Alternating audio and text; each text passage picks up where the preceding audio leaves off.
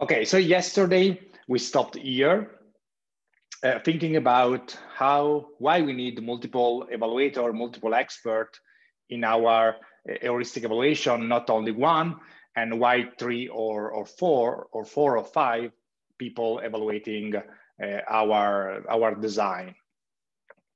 And uh, we, we know this uh, because, because Nielsen did this, this experiment. Once he had the, the evaluation, uh, the procedure set, it uh, involved 19 hmm, evaluators uh, on a design that has 16 different usability problem and asked this evaluator to do to perform the risk evaluation for find any problem that they find. And all these 19 evaluators successfully complete the, the evaluation phase, the heuristic evaluation, and reported back the issues that they analyze according to the rules, uh, according to the procedure that we, we have seen yesterday. And then he put the evaluator in this graph here, in which in, on the bottom here, there are there is the most successful uh, evaluator. So the evaluator that found much, the, the greatest number of issues in the um, in, in, in the in the designs. And here in the top, there is the most the most unsuccessful evaluator that is the evaluator that only find the, the, the little number, a little number of issues. So the first one found found uh, one, two, three, 10 different usability problem out, out of 16. And this one, that is the, the, the, the most unsuccessful evaluator, only three. And then he also put the, the usability problem in this order. Uh, here in, in this corner, there is the most easy usability problem, and here the hard usability problem.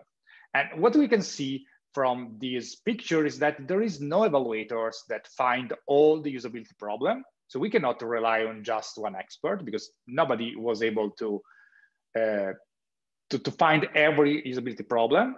Even if in this user interface, in this design, there were exactly 16 usability problems. So it was uh, done with, with a scope of exactly 16 problems in it. And and, we also see that some evaluators, like the first and the second one, find different problems. So this problem wasn't uh, found by the the first evaluator. These two were found by the, the, first evaluator, but not from the second. And we see there are also some hard problems. So this is applied for easy problem like these. These are a little bit harder. These are harder, but were found by uh, the first four uh, evaluator, for instance, found all this problem. And this problem here, the hardest one, was just found by two people, one here and one here. So we cannot rely on uh, on, on a single evaluator for, for this reason, because no evaluator was able in this experiment to find all the problem. And so it's better if we can put together different uh, evaluators and so that they can compensate each other and find different problem each others to, to find the most most of the problem uh, so so this this answer on why we, we need multiple evaluators. And and then how much evaluator do we need? Why three to five is the magic number that we reported yesterday?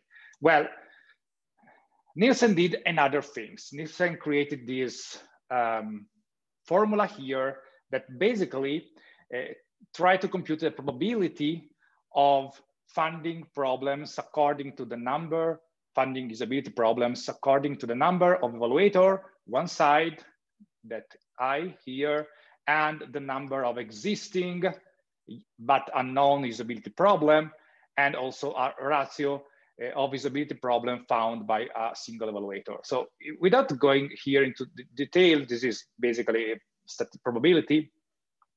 Uh, Nielsen found this, it was able to depict this, this formula with some number, uh, with some of these variable uh, obviously filled uh, correctly, uh, found this curve. in which you can say you can see that basically that reports here the number of evaluators and here the proportion of usability problem found in a generic design. And you can notice two things. The first one is that this is not 100% uh, for two possible reasons. The first one is that you, you may need a lot more evaluator to reach, uh, this is around 90%, uh, to reach a higher score, higher percentage. And for the second, the second reason is that you, you cannot really know how uh, exactly how much uh, usability problem you have in a design. Hmm? So in the previous slide, there were exactly 16 because it was designed in that way. But in a generic user interface, you don't know if you have 10 usability problem, three usability problem, 100 usability problem. So it's really difficult to reach 100%. And it's also not even the scope of the heuristic evaluation to find every single problem. But, but just a quick way, the, the remind from yesterday, uh, it was called a discount usability. So to find most of the problem to gather some evidence before continuing and doing other kind of evaluation like usability testing and so on. Uh, so the goal here for the heuristic evaluation is mainly getting the most of usability problem uh, so that the design team, the developer team can decide uh, which of them to fix, when to fix, how to fix them, and so on. And so the first thing that we notice is this. The second thing that we notice is that we have a rapid slope here and uh, at around five evaluator, we have around 75% of problem uh, encountered. And then the slope is increased much, much less. Uh, and at 15, we reach around 90% of uh, problems uh, found. So we, we need to, to, to, to take a a triple number of evaluator from these five, so 15 instead of five, to just have an increase of 20%, uh, less than 20%, uh, while here we, we have a better increase. So this should already give you a hint why three to five is, is a good number because according to this graph, five evaluators that independently evaluate things and then put together the results, were able to find around three quarter of the usability problem. So it's really uh, most of them. Um, and why we came up to the three to five number, because in addition to that, Nielsen also uh, computed the um, cost hmm, of, uh, um, of doing this work on recruiting people. Because you, if you need to recruit expert, you need to probably pay them, you need to in, invest time, invest maybe some uh, um, equipment to, to do the evaluation. So you need people to, to commit people, to accommodate people in a place and so on. And, and this is a cost, especially for an industry, but it, it is a cost in general, like time, money, or, or, or other uh, efforts and so on. So uh, projecting the, the benefit hmm, of identifying problem to the cost according to the number of evaluators, uh, Nielsen found that this curve at this, let's say, optimum here around three to five evaluator. So the cost, the benefit of finding problem in relation with the cost and number evaluator, find that the number evaluator, three to five independent evaluator can provide a good compromise between the number of usability problem found and the uh, actual cost of having three of having evaluators coming in. So in other terms, we don't have a big benefit in, in from a full perspective of in enrolling 15 separate evaluators um, because they don't identify too much problem in addition to the 74, 5% here. And so the and they are going to probably repeat most of the issues that they the other their colleagues already identified before. So this three to five for this again discount usability as was called in the beginning is the, a good number to to consider for all these uh, this consideration here. In the process, so back to the process for a while. So we had this three to five evaluator, we have the, the process, they have to follow this uh, heuristic, uh, the, the procedure for heuristic evaluation. And uh, they can come up with a list. Uh, it was a ringer question. Was this analysis done only on the data gathered by the first experience? No, overall. For, for the first experience, you mean um, the first time that they ran the, the heuristic evaluation? Ah, on the first study? On this? No, it should be done in another moment, actually, uh, because here they don't know the number of existing problem. So it should be more, more generic. Uh, so we, we come up with this procedure and we come up with uh, um, with this three to five evaluator and they follow the rules and find, let's say, 10, uh, 100, I don't know how many problems they can find. And then at a certain point, they need to uh, rate these to say, okay, this problem is most important than another. Most important because it has a great impact or because it's mm, more, more it's a hard problem or, or for, for some reason. So what, what the procedure is asking reviewers, uh, expert to do is to rate their finding the list of violation according to a severity rating. And this severity is uh, actually a combination of different things. It's a combination of the frequency of the problem of which the problem occurs. So this is a very common problem that happens in every single page or it's in the navigation of the web, uh, the web page, for instance, so that they actually happen everywhere, or it's something really, really rare that happens just one time per year or uh, uh, under certain conditions. So if you click this and this and this, then you have this problem. And then which is the impact of the problem when it occurs? It's easy to overcome the problem or it's difficult? Is the, the web application that is stuck and frozen and you cannot do anything else than close your browser or it's just a warning that you can ignore and proceed you as, as a user ignore and proceed with your task, with your goal, with your usage of the application. Hmm? So the frequency, the impact, and the persistence. It's a one-time error or it will occur many times to the user.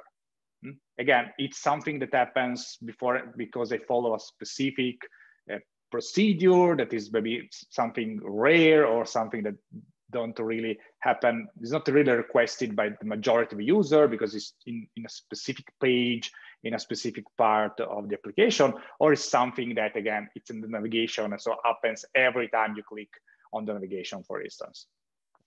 So the expert should not only uh, should should take the his, his um, her define the violation and rate them according to the severity of this violation, take into account these three elements, the frequency, the impact, and the persistence, and combine a severity rating individually for each evaluator, hmm? as I said yesterday.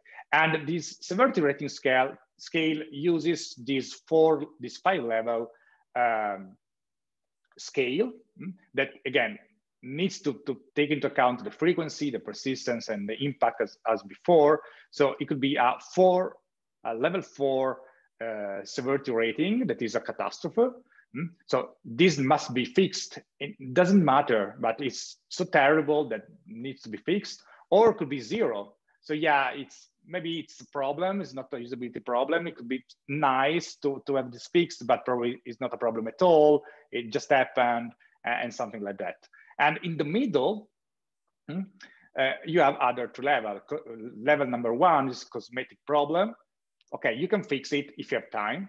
Uh, minor usability problem, yeah, it's it's really minor because maybe it happens a low frequency, maybe it happens with uh, low persistence, persistence, and maybe has medium impact, uh, for instance, and major usability problem instead is important to fix, so it should be given high priority. It's not a, a terrible things, but it's better to fix it because maybe have high frequency, um, high frequency and high impact, so it's better to, to fix it uh, anyway. So every expert rate uh, her viola violation in this, in this way. And then in the, in the discussion phase, uh, or before giving the evaluation and the list to the to the designer, to the developer, you need to uh, put together this rating because you may have one evaluator that find uh, the first issue, the uh, issue number, uh, uh, issue A, let's say, um, with level four, and another evaluator that think that the same issue as level one. So how do you decide if it's a catastrophe or it's something cosmetic or, or something like that? So you, you need to have a, a way to, to derive one decision to proceed, you as developer or as designer. So after all evaluator completed the ranking, so they have the list, they have the ranking, you have two options typically. The first one is the is that you have them discuss and agree on a consensus. So one say, okay, this is a level one, and the other say this is a level four, and they discuss on the, the motivation behind their choice, and they agree that in the end, this is level number three, for instance, so level number two. And the other option is just avoid them discussing, or if they are not able to agree on a consensus, just compute the average of the ratings. So you have uh, for one issue, uh, rating four, four, and one. And so in the end, you will have three as overall rating and you can work on with these three, considering these three as a major usability problem uh, and, and work in this direction. And then finally,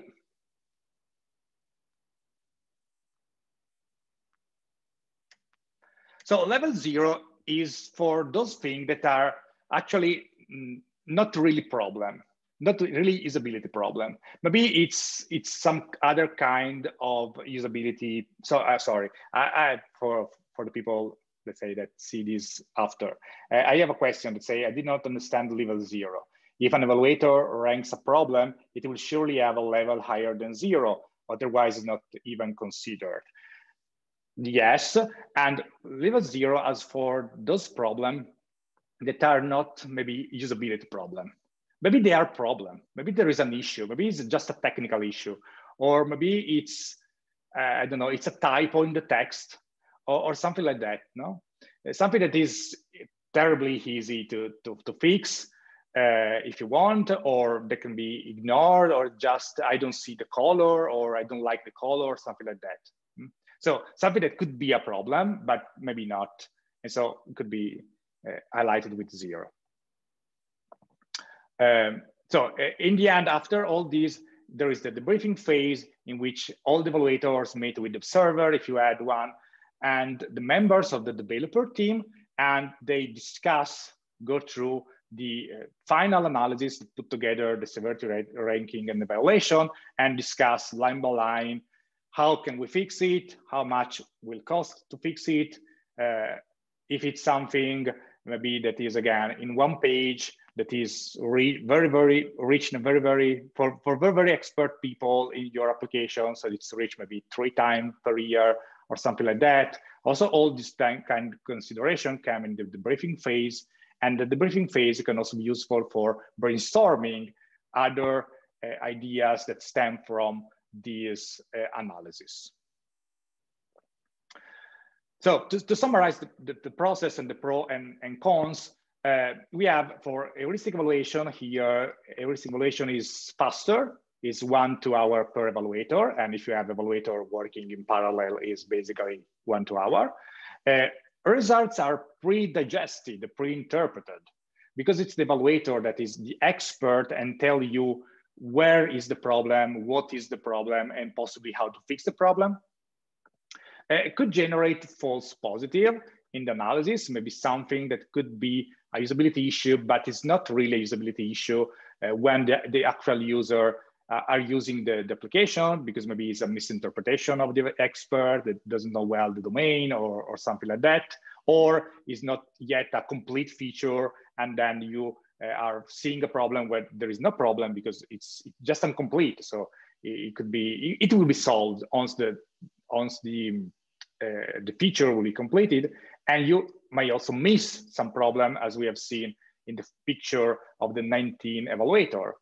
So, and also in the others in which uh, three to five evaluator, will be able to catch around 60, 70%, 75% of all the usability problems.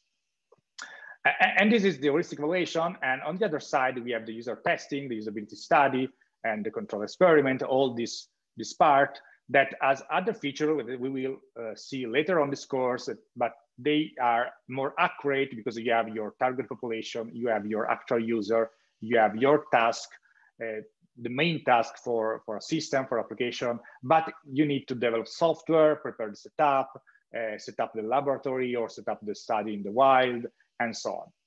And as I said before, as I said before, these are this could be reinterpreted in a complementary way in which you can alternate the methods to find different problem in different stage of the design. You can apply one in the prototype, the other in the end, uh, and also uh, alternating these methods or uh, using them together in different phases could also allow you not to waste participants because for, because for the heuristic evaluation, you need just three to five experts, and every time you need three to five different experts. While for the user testing, testing you maybe need 10, 12, 20 different people in your target population, and every time you need the same number or around the same number of uh, people doing the testing of your application. Hmm. So it's also a way not to waste participants and not to recruit too many people to do the evaluation. So good way, as in many of the methods and the and the techniques that we have shown uh, you up to, to this moment, everyone has some pros and some cons, and most of them can be put together or used different uh, phases to give different ideas, different to highlight different issues to be solved uh, in, in that moment. So finally, so now we have more or less go through the process. You will go through this uh, in an exercise next week, but uh, in this process, you need these heuristics, these rules, mm.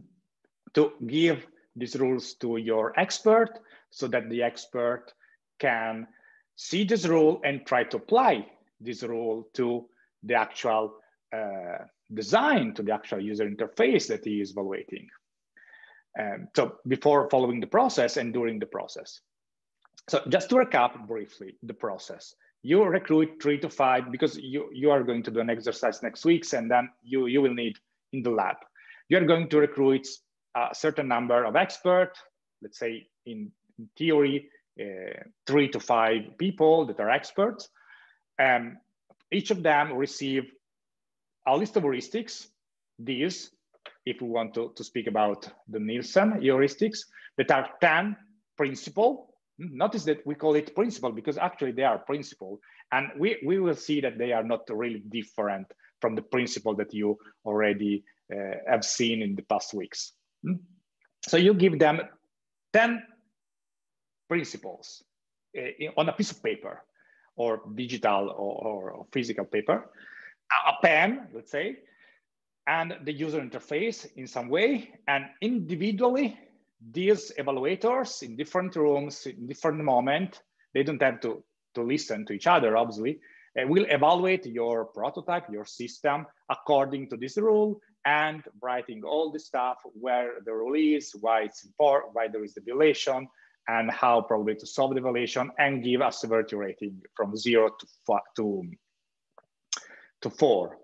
Uh, Typically, what happens in this procedure is that in addition to the 10 principle, you also add a 11th principle, principle that say uh, other, basically. So other problem that are not a violation of these, but that could be useful to, to list uh, other things that you notice that are not a violation of this 10 principle, if any.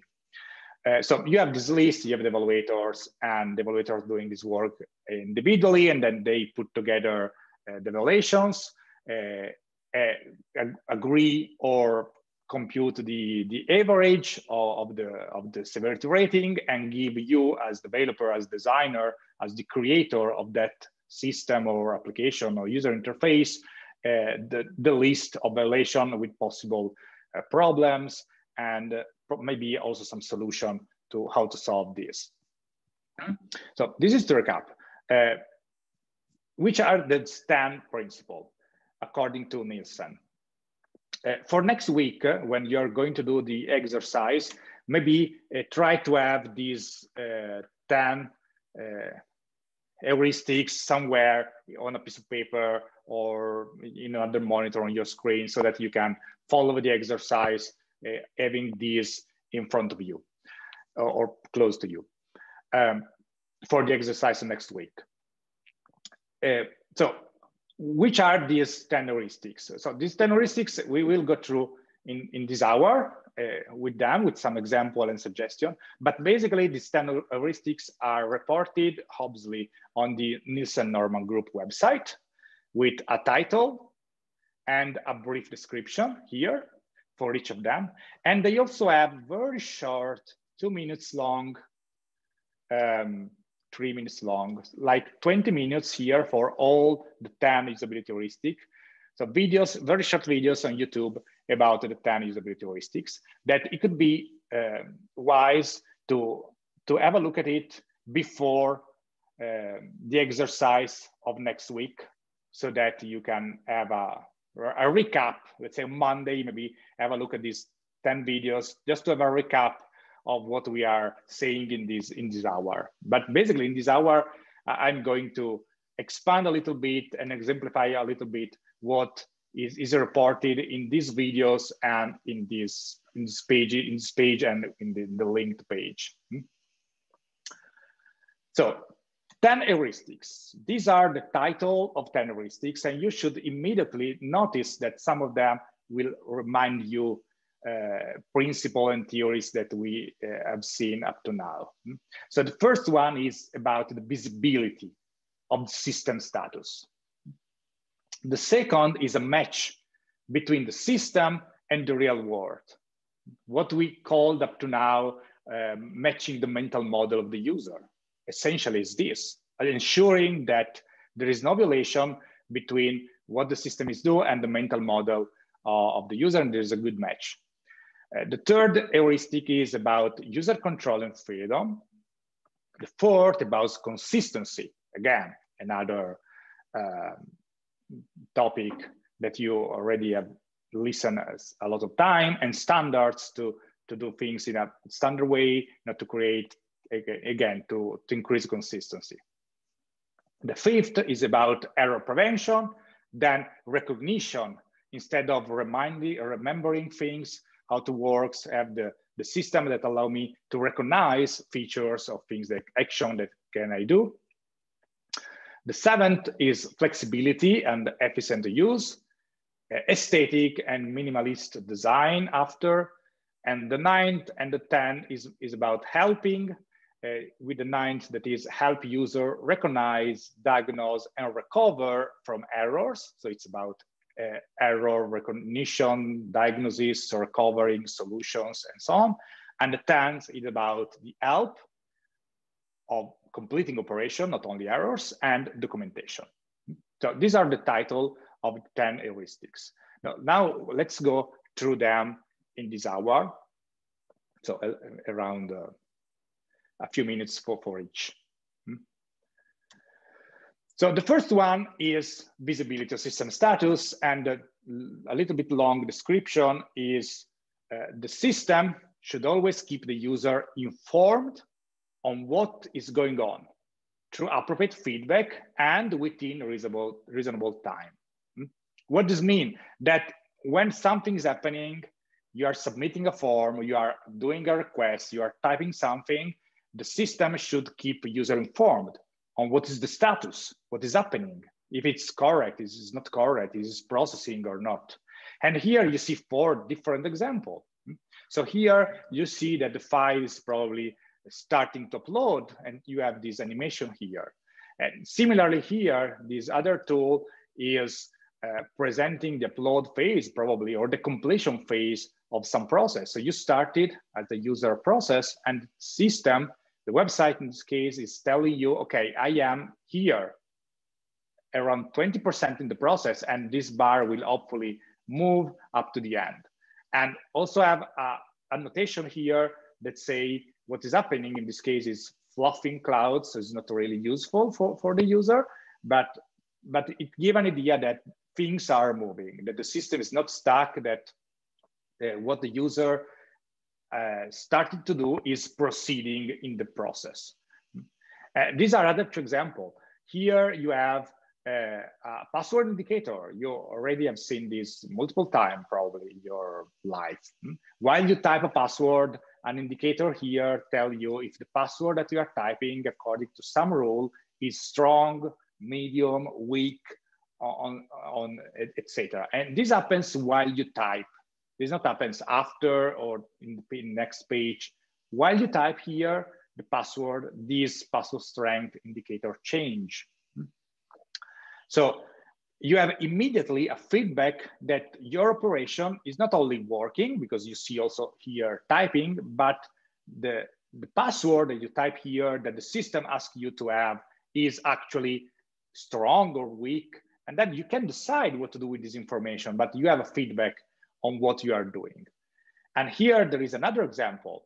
Probably um, these women, Theresa Neil, asked for, forgot the password and asked for a password uh, to, to, change the password, to recover the password. And the system say, okay, your request, your request of a new password has been taken into consideration and you now should be should open your email client and look for an email because you will receive an email hopefully not with your password hopefully the system don't send a password, a visible password in an email, but uh, it send an email with some information about recovering the password, about changing the password with a temporary password or something like that. But without thinking of the content of that email, the point is that in this case, also in this case, the system is presenting a um, confirmation that the action that the user uh, did, did uh, in this case, requesting a password change, worked and worked successfully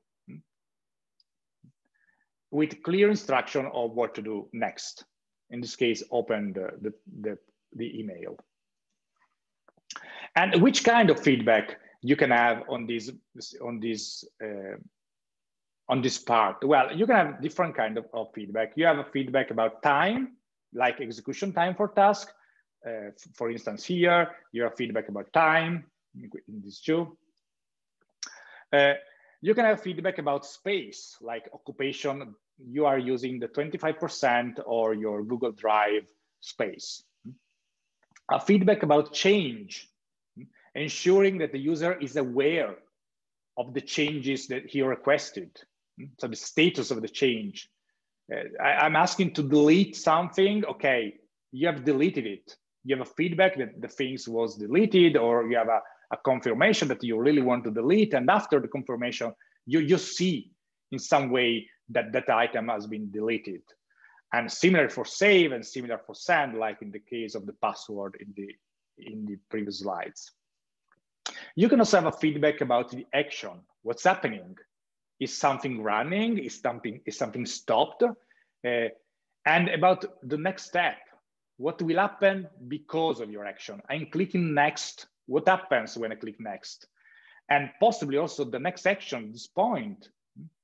Uh, uh, and for instance, I am in a form, in a multi-page form, and I am in page one, and in most of the form, I can see that after page one, there will be another page because of the next button, but I can also see that the form is maybe made of four different pages because it's clearly identified that I am at page one and then there is a page two, page three, and page four. And if I press next, I move to the next page. And also a feedback about completion. Hmm? Clarify when an action has been finalized. Okay, you've done. Now you can close the browser. Yeah, now you can go back to the home page. Now you can do other things. Hmm? So feedback about essentially time, space, change of things in the user interface, action, next steps, and completion of activities. For the time and a little bit for also the, the action, uh, when, when is a time-dependent action, uh, as of thumb to give feedback, uh, if the execution time is really, really short, so it's less than one second, just show the outcome of the action. So if you're uploading process, let's say in a, like this, hmm, like this one here, if this is something that happens, this bar full, go full in less than one second, just skip the bar and just show the outcome, uploaded, done, whatever. If it's, so don't waste time or don't try to show a bar progressing and then the bar completed because in one second you will not see, the user will not see anything. We'll just see the bar completed or some strange animation in some cases. This is a rule of thumb. Hmm? Uh, if it's around one, two seconds, then show feedback that the action is underway because there is time to see that things are unfolding. If you have a longer time, like two, three, 10 second, uh, something like that, show the progress, show the percentage, so the estimate time to completion. Okay, I need uh, to copy this file, I still need one minute. I still need three seconds to complete the operation. Just to give, always give feedback to the user, explicit the state of the system and tell the user that the system is not frozen and that the operation is, is it was accepted without any problem and so, so it can or, or wait or proceed with other activities. The second is matching the mental model, essentially. The system should speak the user language with words, phrases, and concepts that are familiar to the user and not familiar to the developer or familiar to the system. Hmm? Following fami familiar meta metaphor, following familiar um, languages, convention, in the order, logical order that the user is expected to find in the system. So for instance, here, everybody has the concept of uh, what is a library or what is a store. And, and that this is a list inside, let's say, the library. And everybody has an idea what is music, movies, TV shows, and so on. And also here for printing, eh, you have a lot of option, and but you have to, to speak the user uh, language. And when you maybe have, have, some difficulties in speaking the user language here, putting this picture help to contextualize and to say, okay, I select um, an option here and I see here what happens. So I have a match between what the system is going to do, in this case, printing a page, and what the, the printer will do and what will be my results that is having a page printed exactly as I've shown here with this margin, with these colors, and, and so on. So matching the real world, not only in the system, this interface, but also action that bring from the virtual world to the physical world in a clear way and with clear procedure. Obviously, to do this, you can exploit familiarity you should exploit metaphor that are familiar, like paper, folders, highlighters, like you know in Word you can. So this is, for instance, a pen. This is a metaphor of a pen. Obviously, it's not a real pen. I, I'm using my mouse to do this, but this is a metaphor, and this it's a familiar metaphor because probably everybody know what is a pen and that a pen draw something uh, on, on some space, in, in generally on paper, but uh, also here. So this is a, metaphor, this is a familiar metaphor to identify something for write or draw. And similarly, familiar languages. So avoid acronyms, avoid jargon, avoid things, word that could be unknown to the user, to your target user, because maybe are too domain specific or are but it's the technical term, but it's not comprehensible if you are doing an application for the general population, for instance. Uh, obviously, in some domains, if you're doing the flight control uh, system that we mentioned yesterday, you, you will need to use acronyms and to use jargon because there's specific of that domain. But the user are the user that are familiar with that domain. So for them, those acronym, those jargon is normal, is clear because it's is how things, how they call things in the real world. Hmm? So avoid jargon and acronyms, acronyms when they are unknown to, the, to the, your user. If you cannot avoid them, you can use it, the acronym or, or the jargon, but try to use less possible and to specify very well what this acronym means or what this jargon means. Similarly, familiar categories and familiar choices. So explain the meaning, for instance, of the error message. Not just say, okay, this is a 503 internal server error, but say, okay, we have a problem with our website right now. So you cannot use, explain what happened. We have a problem in our website. Uh, what are the consequences? In the case of 503, for instance, could be uh, you cannot complete operation. And what are the available options? Click here to go back to the home page. So just an example. But when you have a message, an error message, don't write the message that you will understand, like uh, 404 page not found, that is maybe a little bit more understandable, or 503 uh, internal server error, because it doesn't mean nothing for most of the person internal server error. What, what can I do with this information that is there is an internal server error? Actually, what can I do? Not a developer, as user website. So tell me what can do, which are the, op the, the option, which are the consequence with respect to the action that I, I, I was doing. I, I need to redo the action, I lose my data, what happens? Hmm? So tell the user how to behave in front of your, or your system. Uh, third, user control and freedom. Hmm? So user often choose system function by mistake because life happens and I click somewhere where I don't want. And they will need to, to exit from some situation easily uh, and without following a, a long path and a straight way, but with some flexibility. And also connected to this support undo of the operation and redo of the operation when possible. And these are, for example, so here if I start, I click here on search, appear this, but I can cancel the search here, I can cancel the search here. Probably if I click here, I will close this tab. And so it's not constrained in an operation. There is flexibility, there is freedom. I can also start writing something here, but then press cancel or press here and move to another uh, option without mm, tons of dialogue system, say, are you sure, are you not sure, and so on.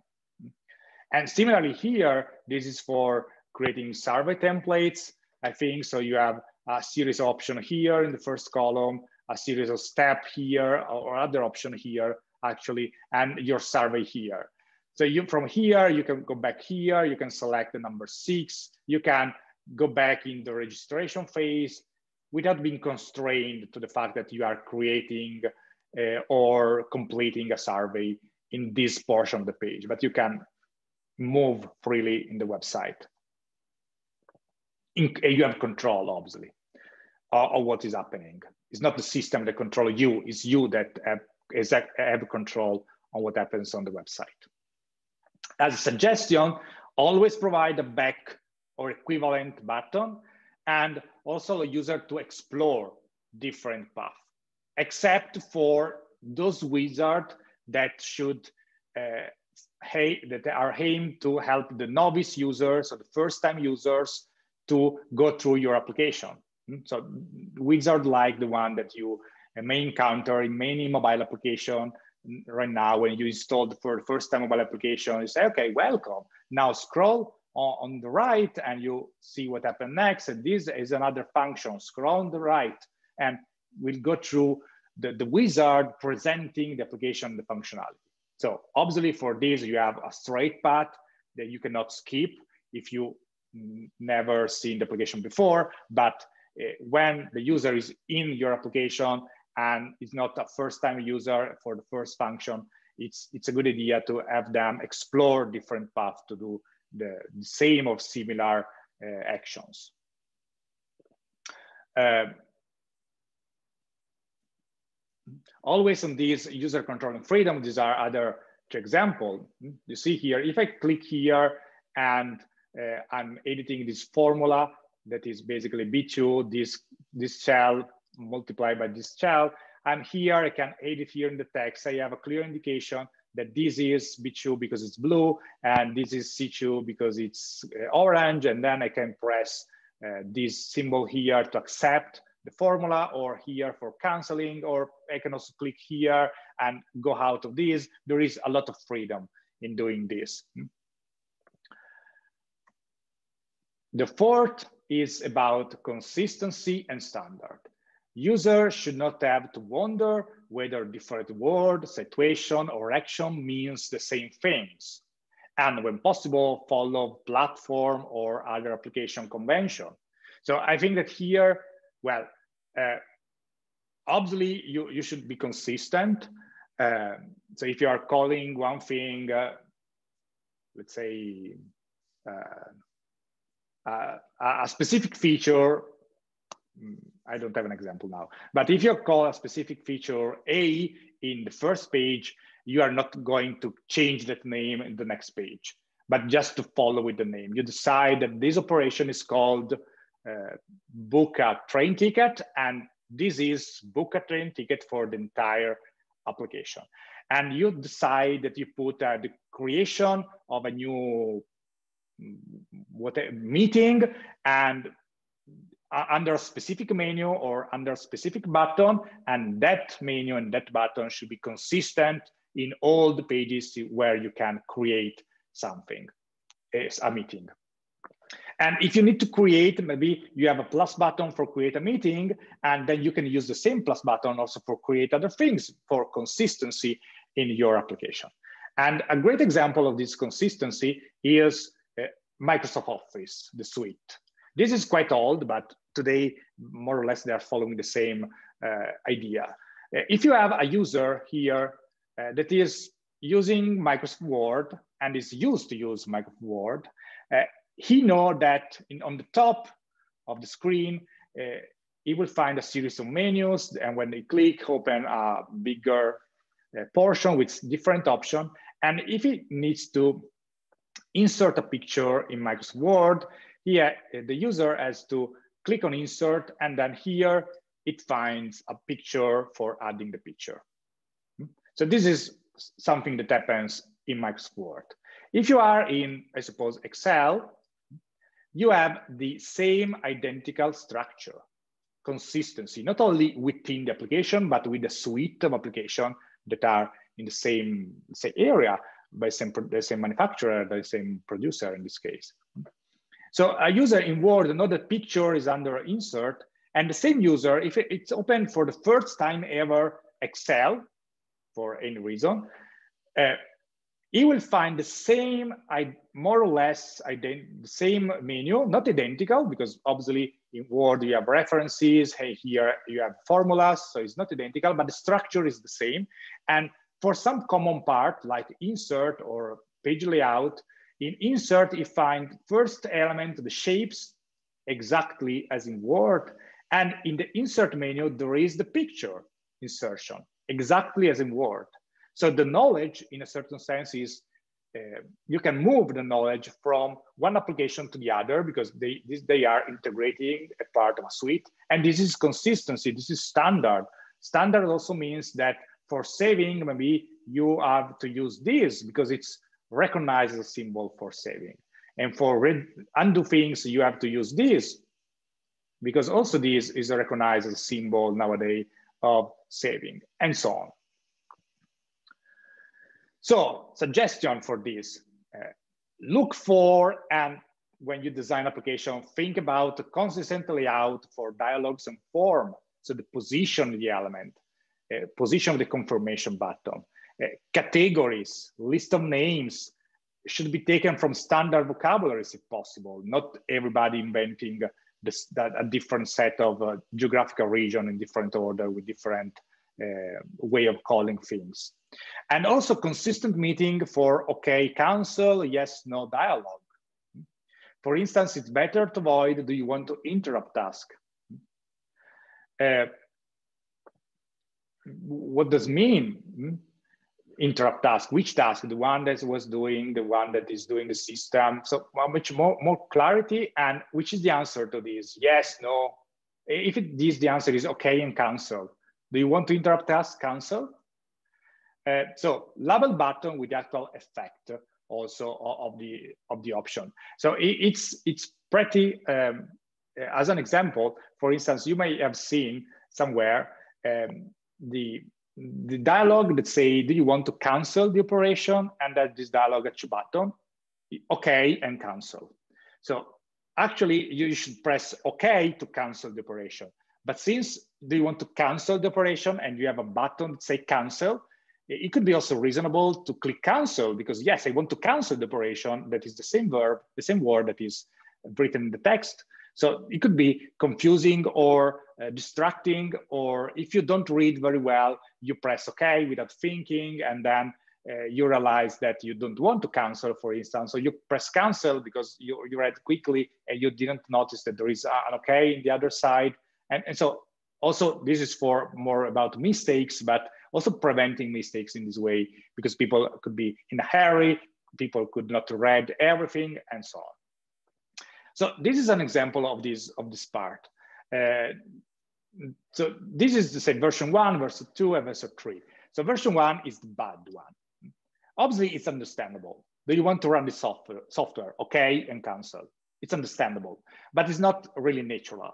So if you, if I ask you, do you want to run the software? You don't answer cancel by saying no. You say probably, do you want to run? Yes or no you are not answering cancel if you don't want to run a software. So this is really bad, even if this is standard button, okay, and cancel. This is better because it's a natural answer of this question. Do you want to run the software? Yes. Or do you want to run the software? No. This is even better because it's recall the name and also it's able to, let's say, help in preventing error by mis misreading this uh, or quickly reading this. So do you want to run the software? Yes, run or no, don't run. So it, it reinforces that the, op the option to select is about running the software. Hmm? So this is acceptable and it's something that you, you will see a lot. This is to avoid if possible because it's not natural and it, one can click on OK without thinking. And this is better because it's, it's better specify uh, which is the action that you are allowing or not allowing the system to do. Five, error prevention. Hmm? That is partially connected to, to what I've seen, uh, I've said before in the slide before. Hmm? Even better than good error message, even better than, yes, good error message is careful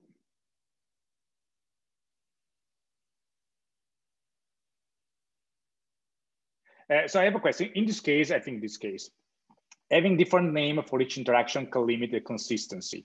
For example, having always yes, having always yes or no can be more useful for the user. Well, as always, these things are a matter of balancing things.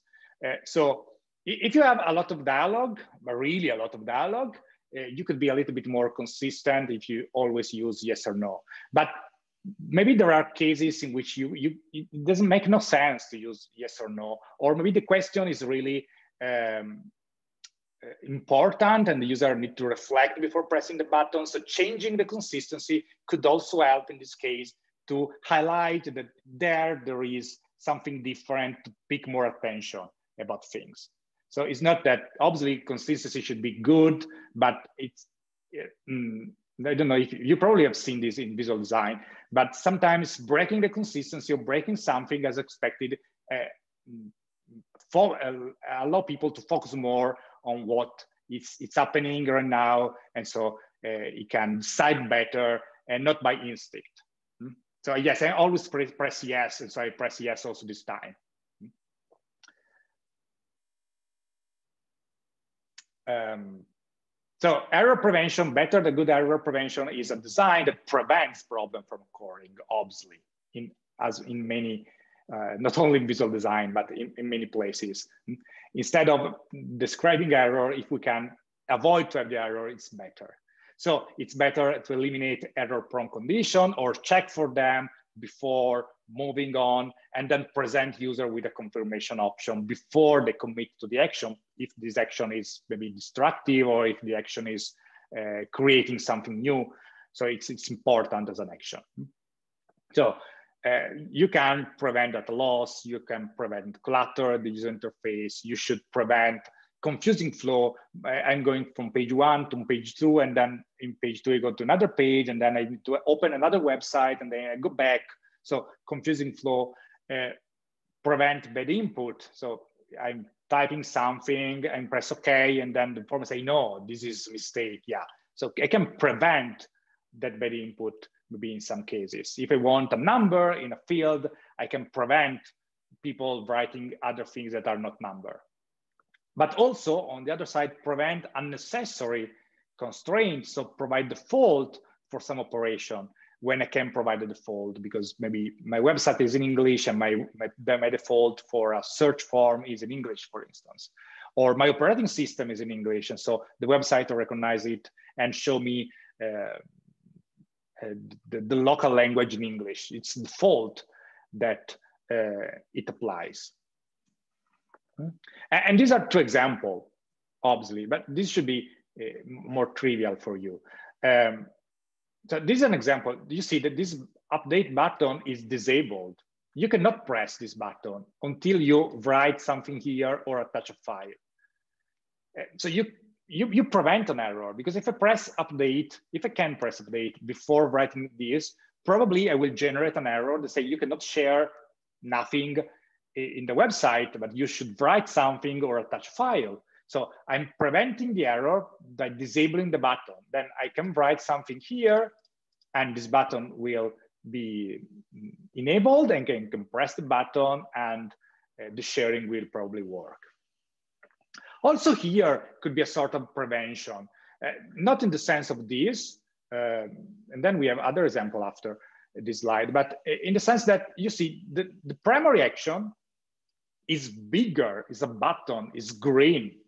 And while the secondary action is just a link, smaller, uh, a little bit on the right. Uh, why? Because this is also visual indication that these two actions are different action. And one is the primary, the submit. If you fill, probably this is a form, if you fill the form correctly, you want to submit and go over and you have to press the big green button here. Instead, if you want to cancel, you don't have to press the big button, but you have to press the cancel button.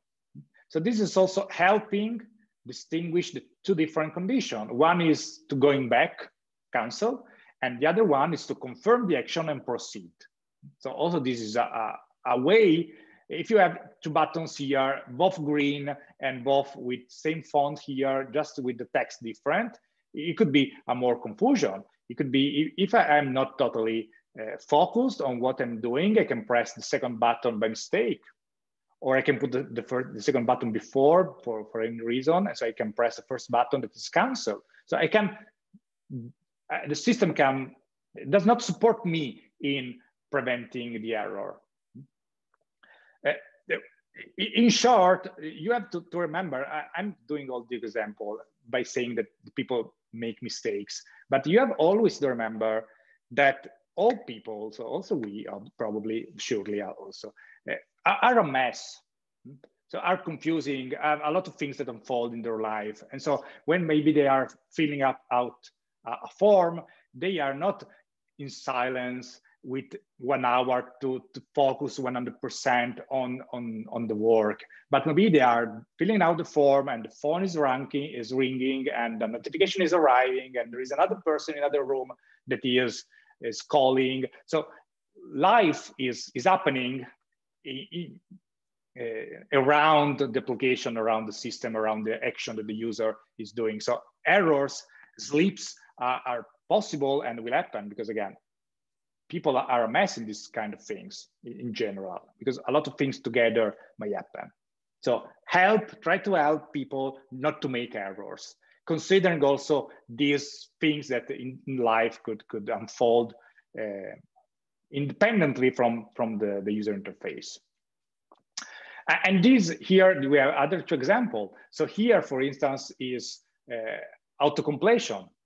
It help, it help the user while he's writing letter by letter to uh, have a series of options that he can select. So I'm start typing design and this help selecting one of the options. Then I can continue to type and these options change will change. But this also helps to recognize if I, if I say instead of design, I invert the and with the G and vice versa, uh, the auto-completion probably stop or maybe it's a little bit more smart and recognize that there is just a swap of letters and provide the right results. So it's easier if I need to, if this is a very important field, it's easier to select these hmm, design clothes instead of writing here the exact correspondence uh, of what I need to, to do in this moment. So also this is error prevention. It's also use it's also a shortcut for the user, but it's also helping preventing errors. Sixth, recognition rather than recall. Also, this should be a, a topic that you uh, have already a lot of seen, uh, seen a lot in the past when speaking about principle.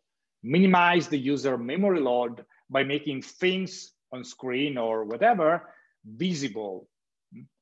So I don't have to remember information. Okay, yes, what I wrote you know, on page number one, and then now I need what I wrote there. I don't remember or instruction or, or, things from one page to the other, from one portion of, of the website or the application from the other. And instruction for user system should be visible and easily retrievable whenever appropriate. So here we have two examples uh, that you are probably all familiar with. Uh, in this case, I start typing, uh, uh, okay, I would like to, to do a string compare, let's say, in I, I don't remember the exactly the the the method and we also the parameters. So in this case, IDE, uh, you start, but obviously it's something about string and compare. So I can start writing ST because it's string and, and the system support me by presenting all the things, all the methods that could uh, start with st or as st in, in the text probably also and I, I, can see string compares okay yes this is what i want and so you can click on this and the system will put here string compare mv is also more helpful and this is also error prevention in a sense uh, obviously because maybe also show me which are the uh, variables to be put uh, in in this to be used in this method. So the first one could be, I don't remember if the first one is a string or is um, an integer or is other things. But a system could tell me, okay, now after you're selecting string compare, you, you should put here the, the first string to compare, then the second string to compare, then another option if you want. Hmm? So again, is error prevention, in this case also recognition. I don't have to remember every single method for programming in any in any programming language, but it's the system that support me, you know, recognize just typing something and recognize that I need this and not, for instance, this. Hmm? The second is even more evident. So if you want to, uh, you don't have to remember for every single font that you have in your computer, uh, which is its aspect on, on, on a page. But typically you have a preview of, of how the font looks like. So if you want to have uh, to write something in a font that it's like the one of typewriter, uh, you, you don't have to remember that font name is X. You open the menu and you see the preview of all the fonts and you need to scroll and select the, the font that allow you to have the effects that you want immediately recognizing the, the charter, the, the, the form, not, not remembering the name. These are other two examples, one, let's say, positive in the recognition and the other, let's say, not positive in the recognition. So this is supporting, this is Visual Studio Code, is supporting recognition and recall uh, for this search part here. And this is instead VI, which is not supporting recognition but is supporting recall. And so these are the same operation. This is the same operation in Visual Studio Code and VI. In Visual Studio Code, you start with search and you can, if you want to replace, uh, let's say and with or in a text in Visual Studio Code, you can start with search, hmm, like searching, and the search can be expanded with several options, including the replace all.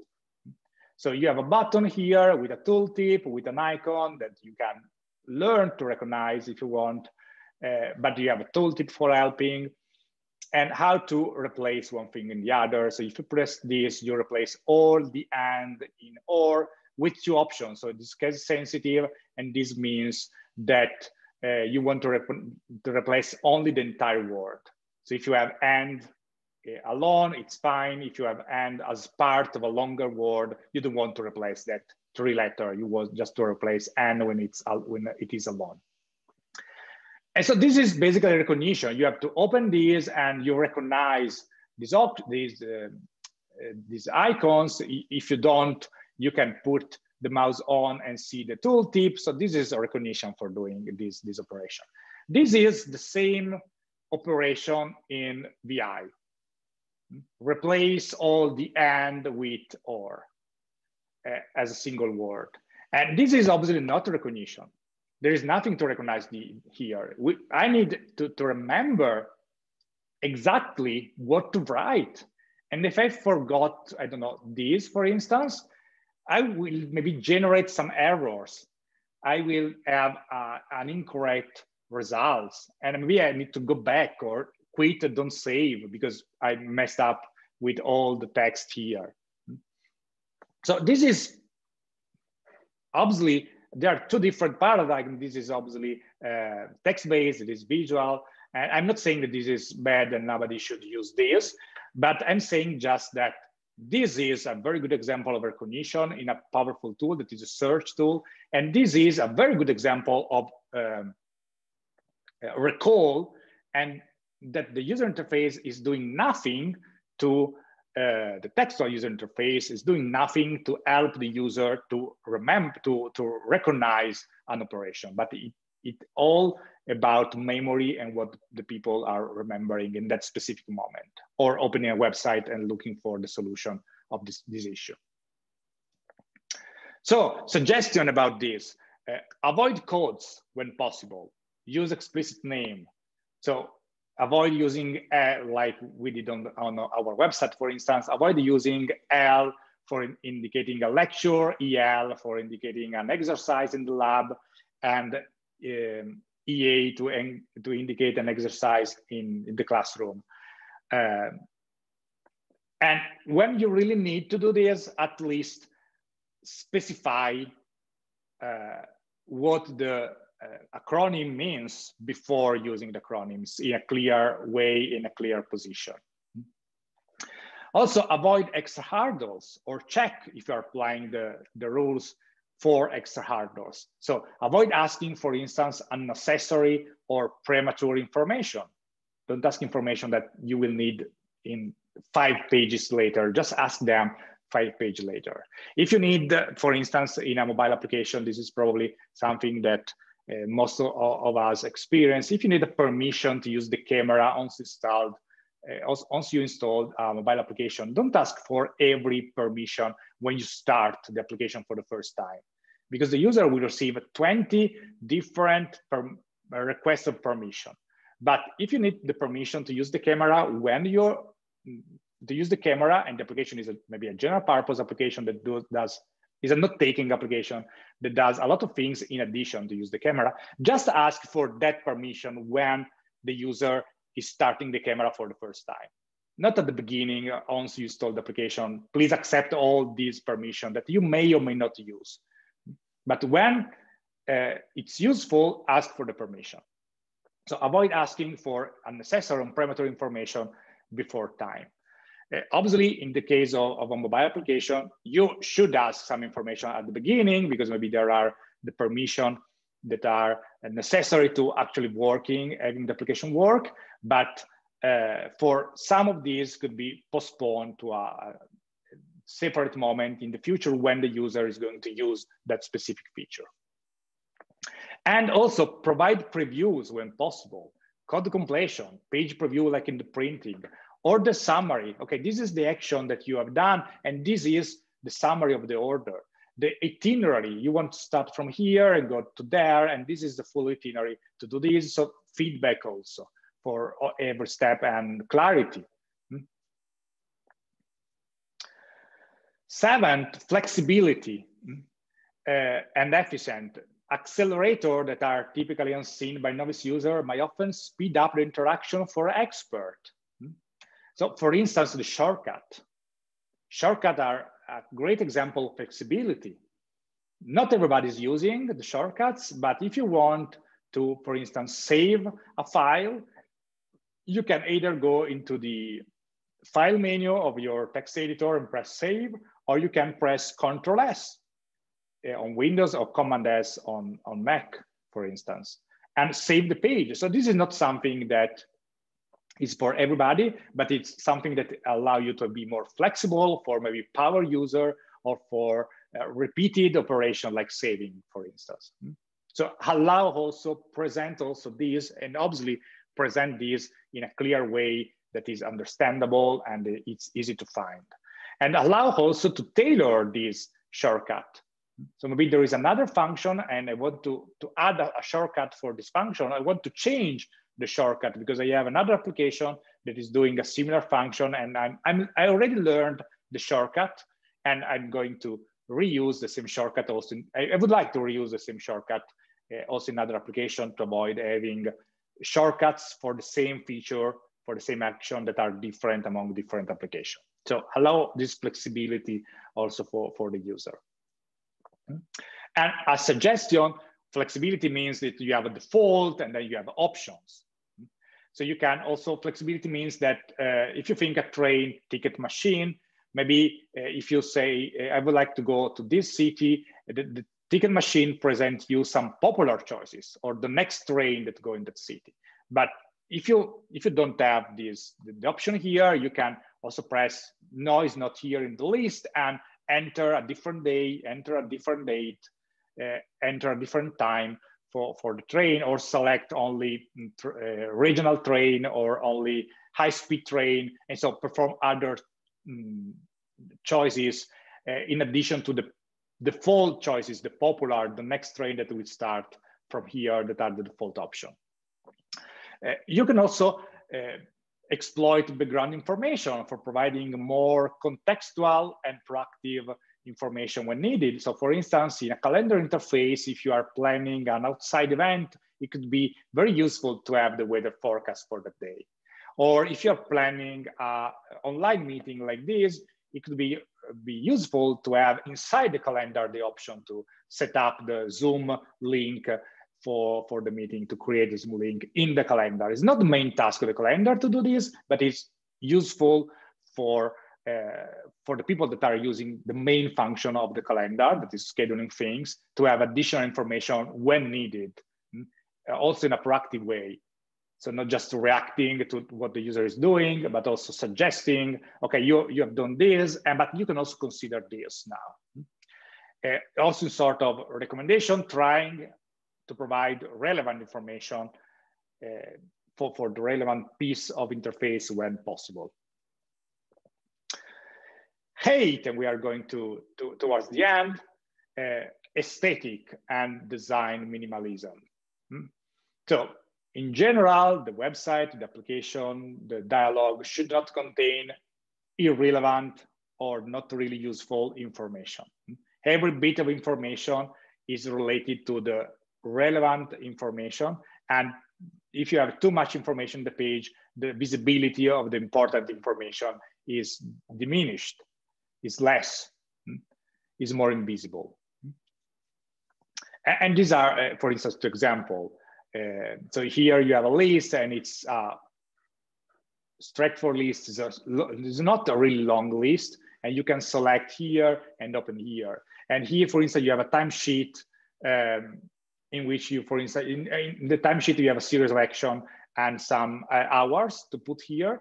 And so you see here that, for instance, you don't have, it, this is already let's say, complex or uh, overcrowded of information because you have the day, you have the action, you have a spot to, to say the, the hour, you need to have the total uh, for each activity and for each day uh, because we have some rules to respect typically in timesheets. But you see, you, you don't have uh, extra information like hours. They are not reporting hours, word hours after every field, for instance, because it's obvious that in the timesheet these are these are hours. They could have actually put hours here, maybe also, or in the total here, just to remind that these are not minutes but hours. Uh, but it's it's a knowledge that everybody who, who fill a timesheet know that you have to insert hours in that spot. So avoid to, to say hours spent per day in every single cell. It's, it's a good example in that sense. And when you have to have key information, uh, the key information must be above the fold. That is in the first part of a user interface. So when you, ideally, when you uh, open a website, for instance, the above the fold um, part of the user interface is the, the, the things that fit in your screen. So if you have low resolution device, this part that fit in your screen will be smaller. So if it's in the beginning of the page on the top, it's better because obviously it's always visible and reachable.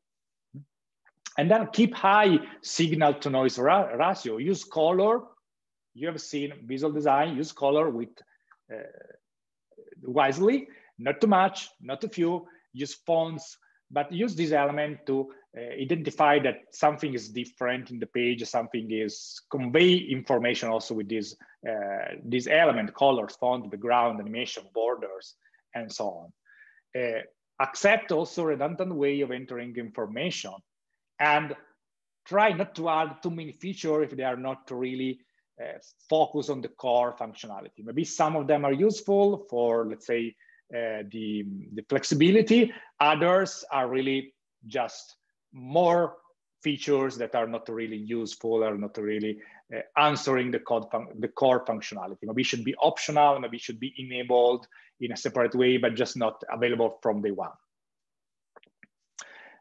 Then the last two were about errors and help.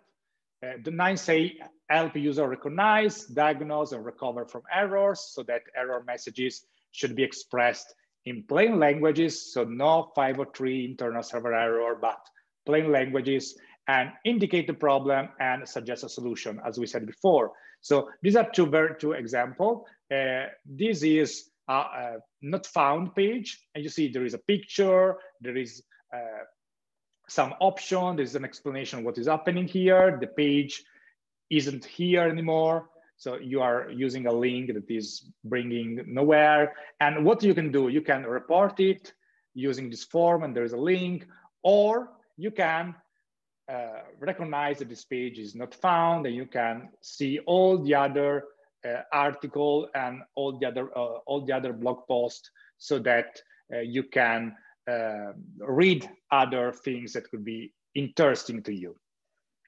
And this is another example of a, a good error message. Now, it, it asks you to, to create an account with a username, a password, and retype a password, and then uh, write an email address.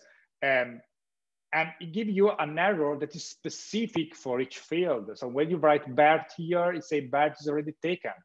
Choose a different username there is the error and there is the action that you can do as a user.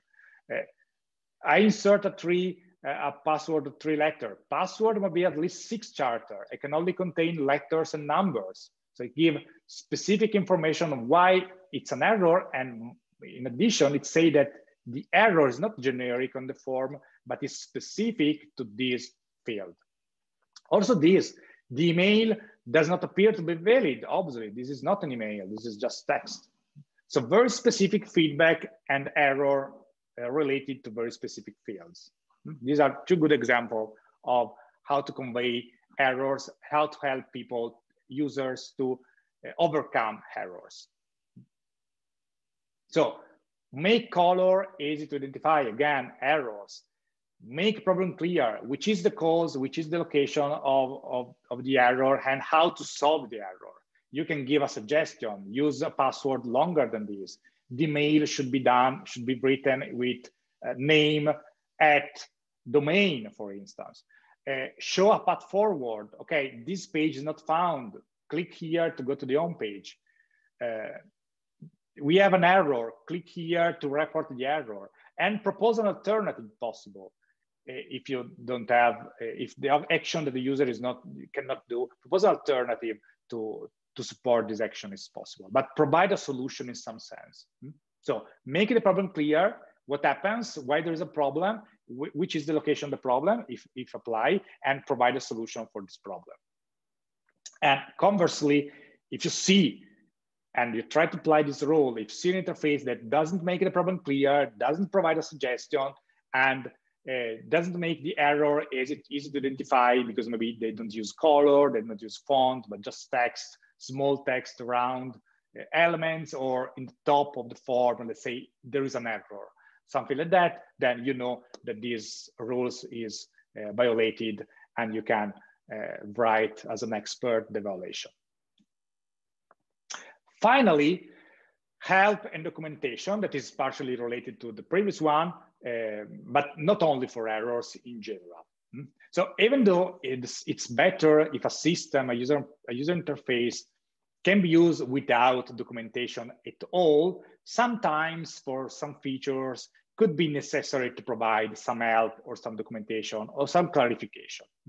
And such information, when it's present, should be easy to search, focus on the user task, not again on the system task, and list concrete step to be carried out and not too large. So you, you don't want to provide 100 pages documentation for a feature on your application, but just the, the information that is needed to uh, move on and according in the, in the user language uh, with easy to find um, uh, help. And these are two, two examples. So if you uh, install for the first time or you're a novice user of this picnic colleges, uh, you can press on this question mark and see uh, eight pages, not so long, eight step process that provide you an interview uh, overview uh, of the of the software. So in which the first one say what um, what is the, the goal of the application, making collage of the photos. Then you can click next and see maybe another feature. So it, it train, it accompany the user in discovering uh, what the application is doing and which are the possibility, which are the function, what can be done, what cannot be done, and so on. And here also there is a help page uh, of this Barry that uh, reports some text and there is also video to explain some uh, additional feature of the, of the application, in this case of the website. So provide help when needed. Here is general on the on the application. Here is in general presenting the website, but it could be also a tooltip somewhere. Hmm?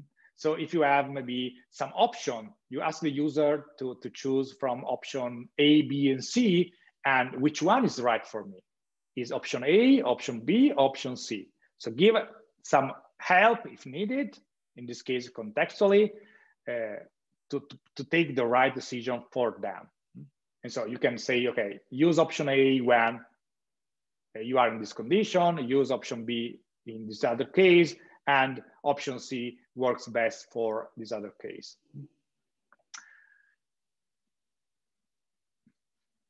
As before, suggestion and things to keep an eye on it, provide example in documentation, hmm, in complex choices. So just don't just say, mm, select these but or let's say uh, let's imagine an email. Just don't say you have to insert an email but or you have, you have to use a password that is one character one character one letter uh, one capital letter uh, one special character. What is a special character for you? If i insert a russian character for me is a special character. But maybe for you it's not a special character. Maybe for you a special character is an exclamation mark so if you say special character and provide an example, open parentheses, uh, exclamation mark, question mark, uh, hash, and so on, then you have provided example in some choices that the user is going to do or in some uh, input field that the user is going to, to, to fill out. Uh, then help the user understanding the gravity of the error of the warning. So for instance, uh, printing outside margin. So if you have a preview of printer and saying, okay, you're printing outside margin, what does it mean printing outside margin? So maybe if you depict this, if you show the page with the text outside the margin, the user could say, oh, yes, I set up the margin in the wrong way, I can uh, fix it. Or maybe the user is saying, I don't care because I was printing an image in that page and I would like the image to be bigger. And the image is in the margin, it's the text that is inside the margin. And it's fine for me for that scope that I was going to do while printing. So help the user understand the error of gravity in this case, providing a picture of what's happening for printing outside the margin. Uh, similar way, provide tips for showing new action steps, like here, this could be a tip.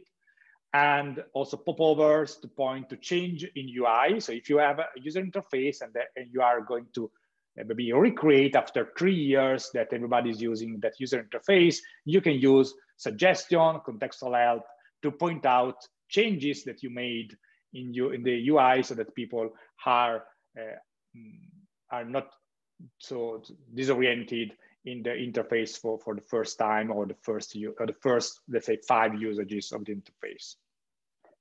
And if you need to adopt term and condition, avoid too opaque term and condition. So not one 11 pages of term and condition uh, written in lawyer term, but shorter and summarized. This is not only um, a suggestion here, this is actually normative because the GPDR the, the, European law uh, about privacy and uh, about privacy mainly is as a specific note that say that terms and conditions should be under, should be short and understandable to everybody before accepting. So also by a child, so you cannot use too complex word or um, lawyer term to specify things. But term and conditions should be simple, summarized, and understandable by everybody. So this is not only a suggestion, it's, it's also normative in the European Union to do this.